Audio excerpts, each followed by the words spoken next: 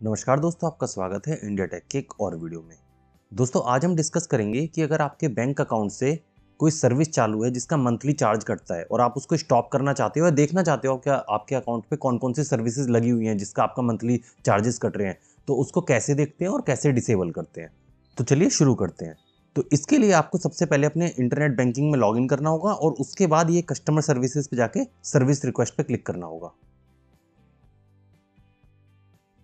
जब आपका service request आ जाएगा तो ये आप बैंक अकाउंट सेलेक्ट करेंगे, जो पहला ऑप्शन है बैंक अकाउंट।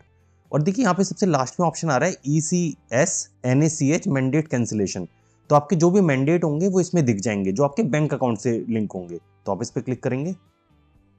तो ये पूछ रहे कौन से अकाउंट नंबर के लिए चाहिए? तो आप यहाँ से अपना अकाउंट नंबर सेलेक्ट कर लेंगे।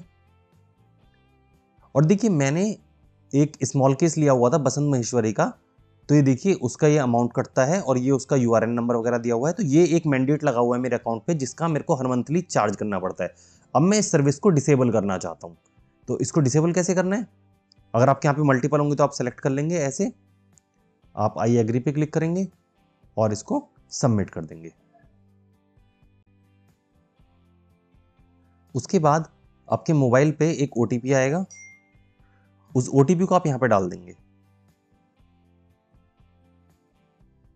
और सबमिट तो आप देख सकते हैं कि जो आपकी रिक्वेस्ट है, वो जा चुकी है और जब भी एक दिन में कंप्लीट हो जाएगी तो आप दोबारा आके देख सकते हैं, आपको यहाँ पे वो सर्विस नहीं दिखेगी। तो इस तरीके से आप कोई भी आपका मैंडेट जो लगा हुआ है आपके सेविंग अकाउंट पे, उसको बंद कर सकते हैं। तो आज की वीडियो में इतना ही। अगर आपको वीडियो अच्छा लगा हो तो इसे लाइक कर सकते हैं और अगर आपके इससे रिलेटेड कोई भी क्वेश्चन है तो आप कमेंट बॉक्स में पूछ सकते हैं। देखने के लिए बहुत बहुत धन्यवाद।